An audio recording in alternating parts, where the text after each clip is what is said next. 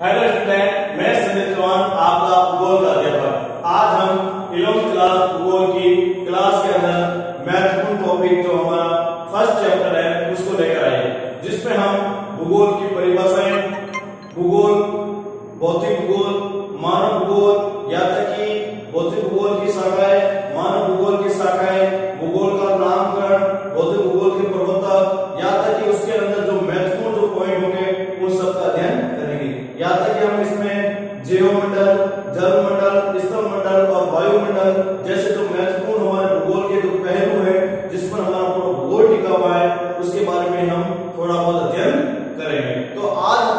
अपन का first chapter भूगोल एक विषय के रूप में। भूगोल एक विषय के रूप में यदि ज्योग्राफी एज ए सब्जेक्ट मतलब भूगोल एक विषय के रूप में हम किस तरह हम पढ़ सकते हैं?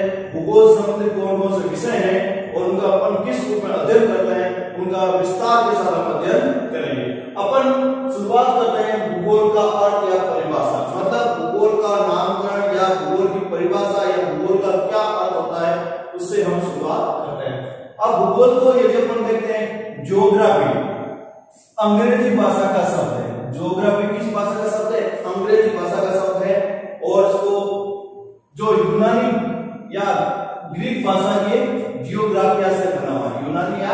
ग्रीक भाषा से किससे बना हुआ है? जियोग्राफिया से बना हुआ है। जिसका शाब्दिक अर्थ क्या होता है?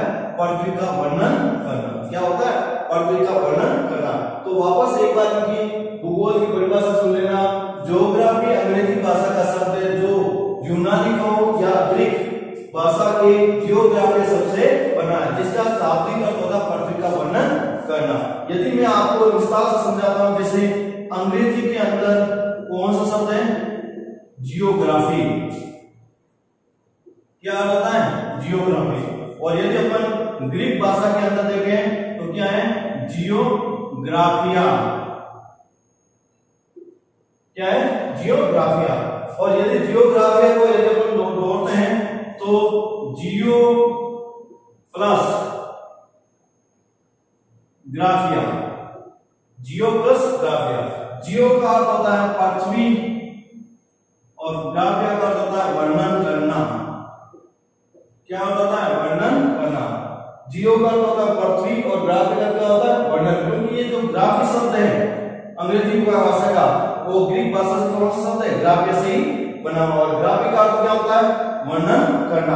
तो इन दोनों को जोड़कर क्या बनता है? पृथ्वी का वर्णन करना। तो इसी तरह हमारे परिभाषा में हमने क्या लिखा है?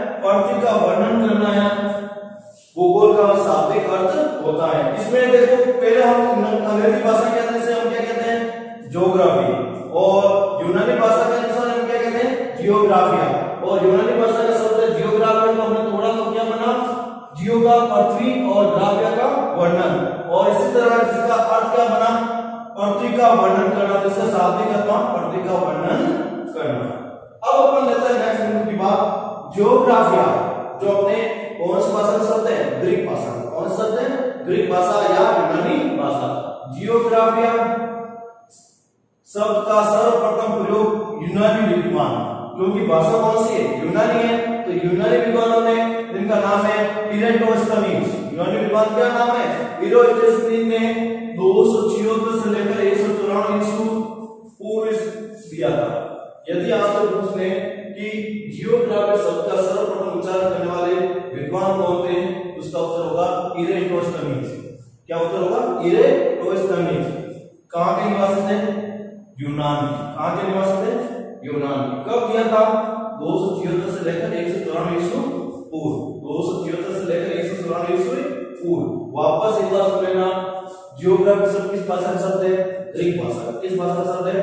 ग्रीक भाषा किसने दिया इरोटोस्टमीज कहाँ के निवासी थे यूनान के कब दिया? दो सौ छिहत्तर से एक सौ पूर्व और जियोग्राफी शब्द का अर्थ क्या होता है? पृथ्वी का वर्णन करना। क्या होता है? पृथ्वी का वर्णन करना। अब अपन लेते हैं भूगोल के जनक। कौन है? एकेडियस भूगोल के जनक कौन है? एकेडियस ऐसे तो अलग अलग भूगोल के अलग अलग जनक होते हैं, लेकिन अपन सिर्फ़ भूगोल की ले रहे हैं इसलिए भूगोल के जनक कौन है? एकेडियस फिर व्यवस्थित भूगोल के जनक कौन है? इरेटोस्टनी जो यूनान के व्यक्ति थे, जिन्होंने भूगोल के जो भी तत्व हैं उनको व्यस्त व्यवस्थित रूप से या क्रम के रूप में रखने के कारण इनको क्या कहा गया? व्यवस्थित भूगोल के जनक। अब अपन नेक्स्ट बिंदु की बात करें, यदि पूछे भूगोल क्या है, भूगोल का अध्ययन हम किस रूप में करते हैं तो इसमें सीधा लिखना भूगोल पृथ्वी तल या भूतल का विज्ञान है। मतलब पृथ्वी तल पर जो भी कारक है, चाहे वह नदियाँ हो, चाहे नहरें हो, चाहे पहाड़ हो घाटियाँ हो, जीव हो, जंतु हो, पशु हो, पक्षी कोई भी हो, उन सब का अध्ययन करना भूगोल के अंतर्गत आता है।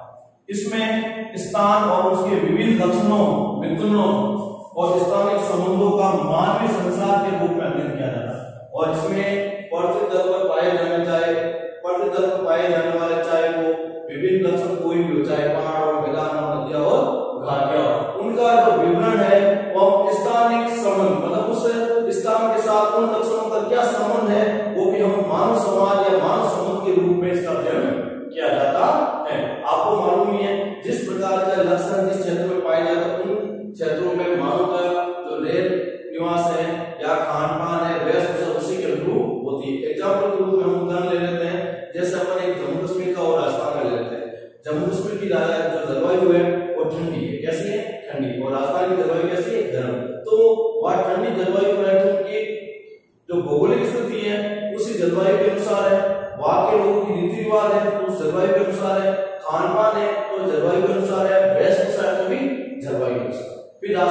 देखते हैं तो उनके अनुसार है। तो गाँव या शहर या कोई भी क्षेत्र हो, जिस प्रकार का वातावरण होगा उनका, उसी प्रकार के वहाँ के क्लाइमेट के अनुसार उनके लोग भी रहते हैं या जीव जंतु रहते हैं या वनस्पति रहती है।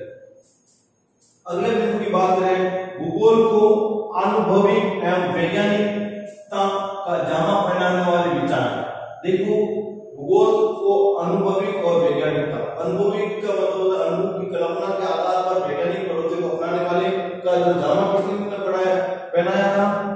मध्यकालीन भूगोल में किसने पहनाया था? मध्यकालीन भूगोल में था।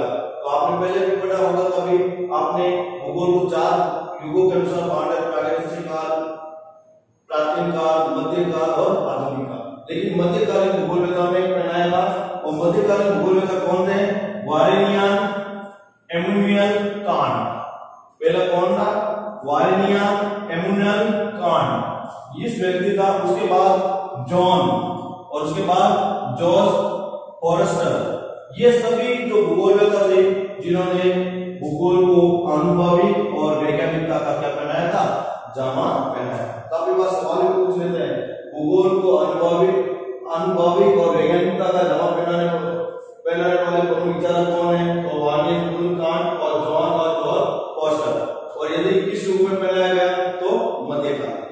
अब अगली बात करते हैं पार्थिव एकता पर बल देने वाले भूगोल वेता पार्थिव एकता मतलब जिसमें हम पहले ट्वेल्थ में जाएँगे तो एक शब्द आएगा पर्यावरणीय निश्चयवाद कौन शब्द आएगा?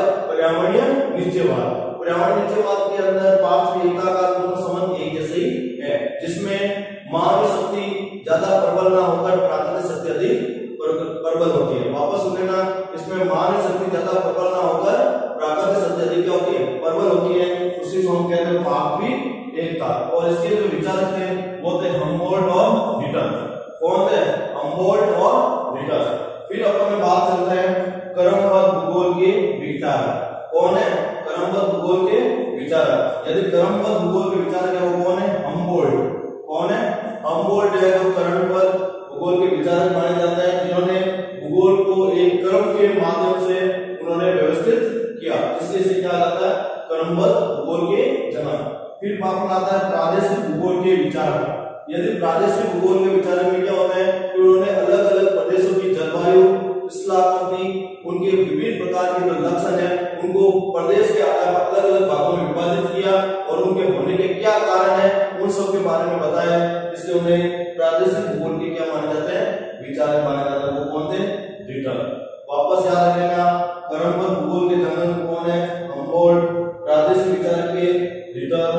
फिर आपने पृथ्वी की एक रूपता का सिद्धांत।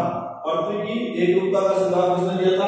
अम्बोल। पृथ्वी की एक रूपता का सिद्धांत पार्थ एकता बल के समान ही माना जाता है, जिसमें प्रकृति प्रबल और मानव सदृश के सामने बहुत ही कमज़ोर या तुच्छ मानी जाती है। ये इसके बाद हम आगे कुछ और अध्ययन करेंगे, देखते हैं। यदि अपन भूगोल की परिभाषा यदि रिचर्ड ऑर्सन के अनुसार देखते हैं यदि आपसे पूछा जाए कि रिचर्ड हॉर्सन कहाँ के निवासी थे तो रिचर्ड हॉर्सन स्वीकार अमेरिका के निवासी थे। जिन्होंने भूगोल की परिभाषा, भूगोल की पृथ्वी सतह की विभिन्नता रूपी लक्षणों, देखो, पृथ्वी की सतह पर विभिन्नता रूपी लक्षणों का मतलब है कहीं पर पहाड़ है, कहीं पर मैदान है, कहीं पर नदियाँ है, कहीं पर घाट है, कहीं पर मरुस्थल है, ये सब क्या है? विभिन्नता रूपी लक्षणों का शुद्ध, व्यवस्थित एवं तार्किक वर्णन एवं की व्याख्या का अध्ययन ही क्या है? भूगोल कहलाता है मतलब उन्होंने धरातल पर पाए जाने वाले, चाहे वो पहाड़, मैदान, नदियाँ, घाटे, उन सभी लक्षणों का क्या है? शुद्ध, व्यवस्थित। मतलब उनको क्रम के रूप में, साफ़ शब्दों के अंदर उन्होंने उनके विचार के रूप में, तार्किक का मतलब उनके सोच, विचार और सिद्धांत के माध्यम से उन्होंने उनका वर्णन और व्याख्या का अध्ययन उन्होंने भूगोल बताया। तो इसमें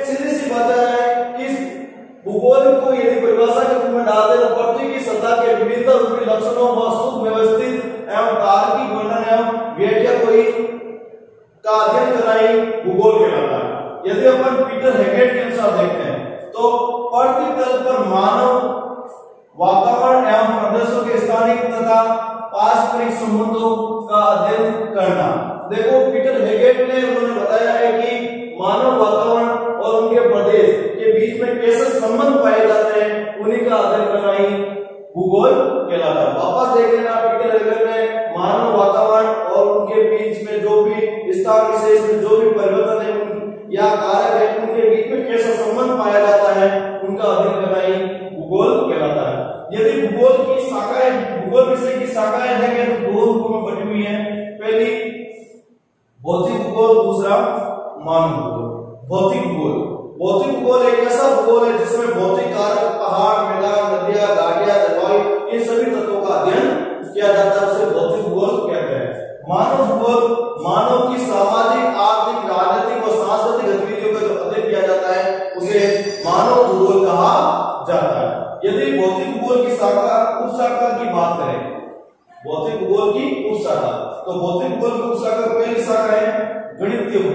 What's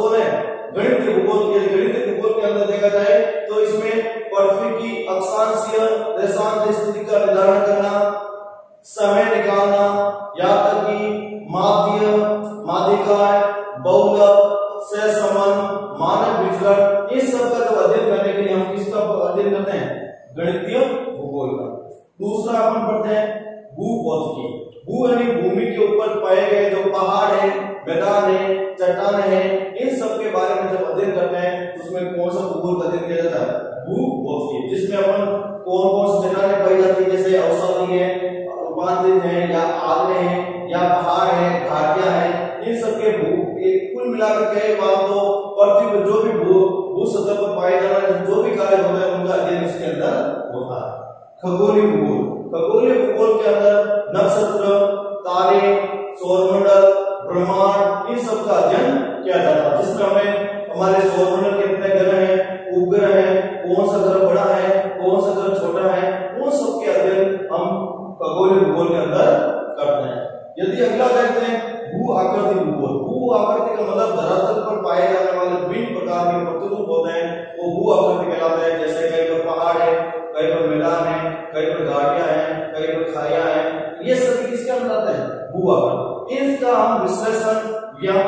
साथ इसका अध्ययन करते हैं, उसे भू आकृति भूगोल कहलाता है। यदि अपन अगला भूगोल की बात करें, जलवायु भूगोल। जलवायु भूगोल के अंदर जलवायु संबंधित जो कार्य होते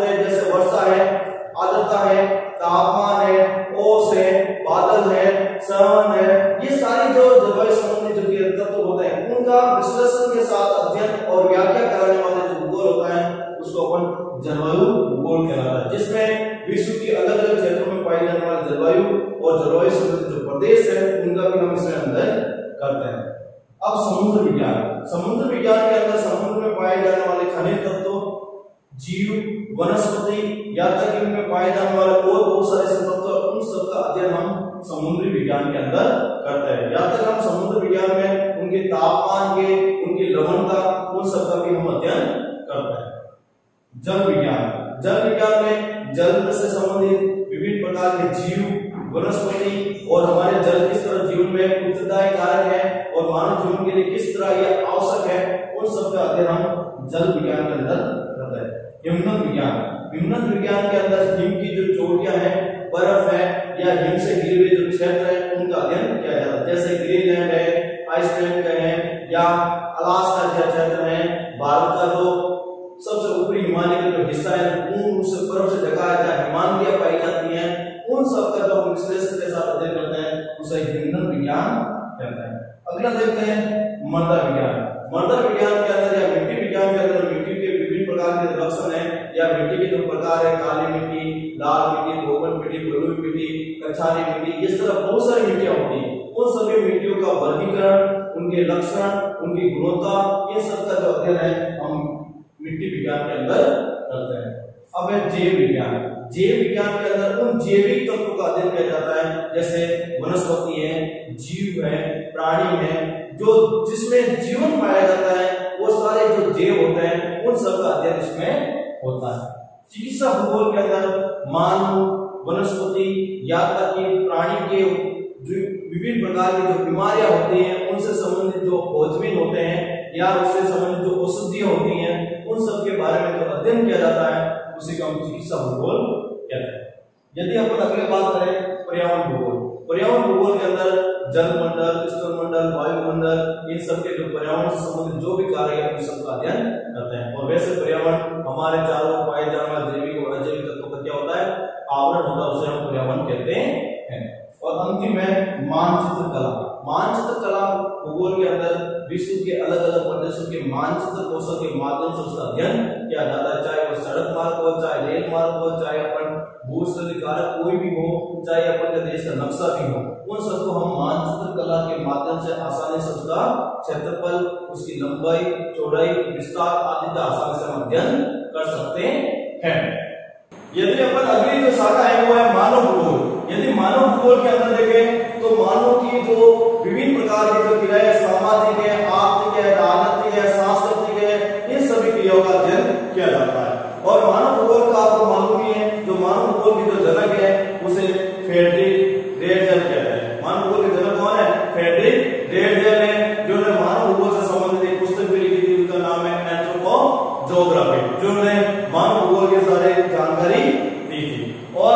भूगोल के संबंधित जो पूर्ण रूप से जो अध्ययन है, वो हम ट्वेल्थ क्लास के अंदर करते हैं। किस क्लास के अंदर करते हैं? ट्वेल्थ क्लास के अंदर, जिसमें मानव के संबंधित जो क्रियाएँ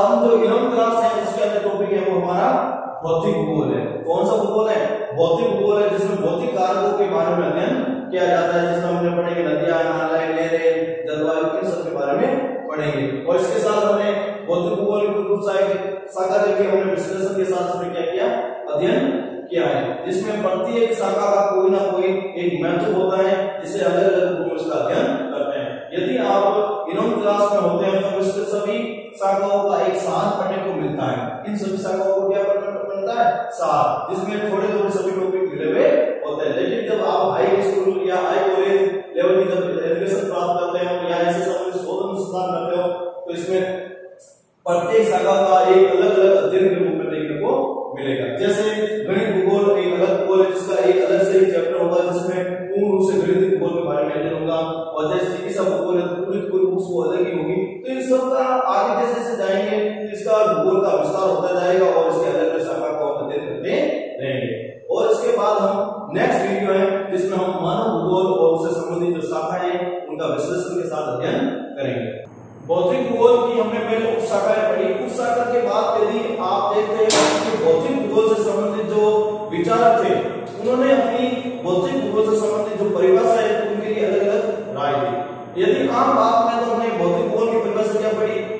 कि धरातल पर पाए गए विभिन्न